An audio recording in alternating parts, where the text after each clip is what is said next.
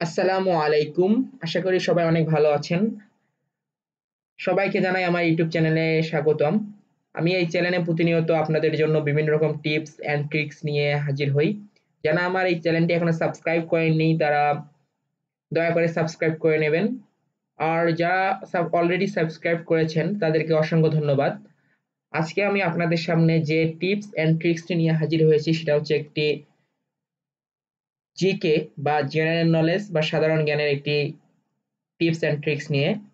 আজকে আমরা জানব মুক্তিযুদ্ধের সেক্টর সমূহ সংক্ষেপে মনে রাখার জন্য একটি শর্টকাট টেকনিক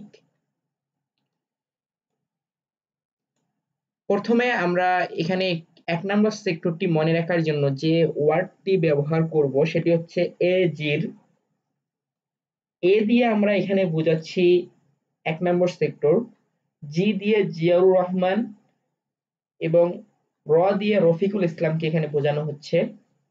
এক নম্বর সেক্টরের অধীনে যারা ছিলেন জিয়াউর রহমান রফিকুল ইসলাম, আমরা খুব সহজেই এজির ওয়ার্ডটি মনে রাখার মাধ্যমে খুব সহজে আমরা এটি মনে রাখতে পারি। পরবর্তীতে আমরা দুই নম্বর সেক্টর মনে রাখার জন্য যে ওয়ার্ডটি ইউজ করেছি সেটি হচ্ছে মোটু খাহা মোটু খা হা এখানে দুই নম্বর খালেদ মোশাররফ আর হচ্ছে হায়দার কে বোঝানো হচ্ছে।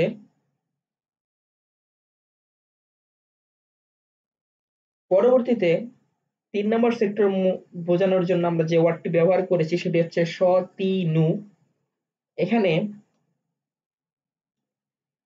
সতে সফিউল্লাহ, তি দিয়ে তিন নম্বর সেক্টর নু দিয়ে নুরুজ্জামানকে বোঝানো হচ্ছে। পরবর্তীতে চার নাম্বার সেক্টর বোঝানোর জন্য আমরা যে ওয়ার্ডটি ব্যবহার করেছি সেটি হচ্ছে সি, চা, এখানে সি দিয়ে সি আর দত্ত, চা দিয়ে চার নাম্বার সেক্টরকে বোঝানো হচ্ছে। পাঁচ দিয়ে পাঁচ নাম্বার সেক্টরটি বোঝানোর জন্য আমরা যে ওয়ার্ডটি এখানে ব্যবহার করেছি সেটি হচ্ছে পাঁচ শত এখানে পাঁচ দিয়ে পাঁচ নম্বর সেক্টর এবং শত দিয়ে মেজর শওকতকে বোঝানো হচ্ছে।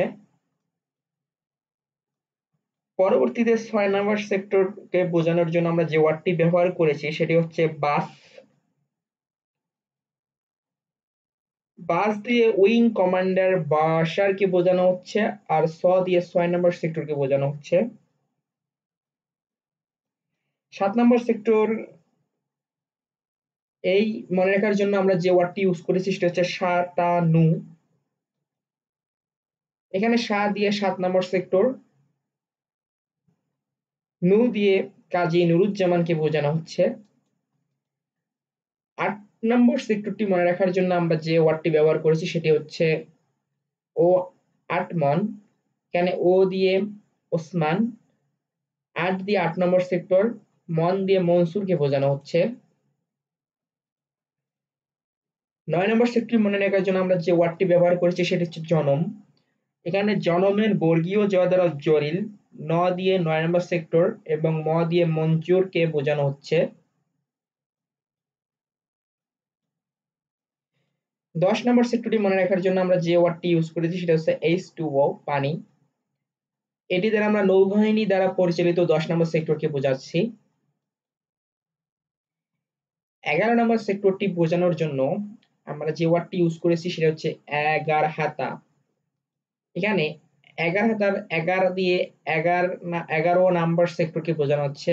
হা দিয়ে হামিদুল্লাহ এবং তা দিয়ে কর্নেল তাহেরকে বোঝানো হচ্ছে।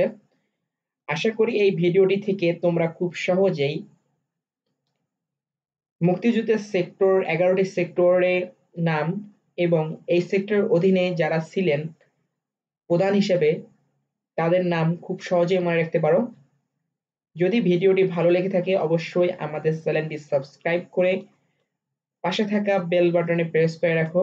আর আমাদের চ্যানেল সম্পর্কে তোমাদের যে কোনো মূল্যবান মতামত বা প্রশ্ন থাকলে অবশ্যই কমেন্ট বক্সে তা করবে।